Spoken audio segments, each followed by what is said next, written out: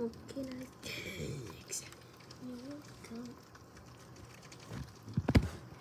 go.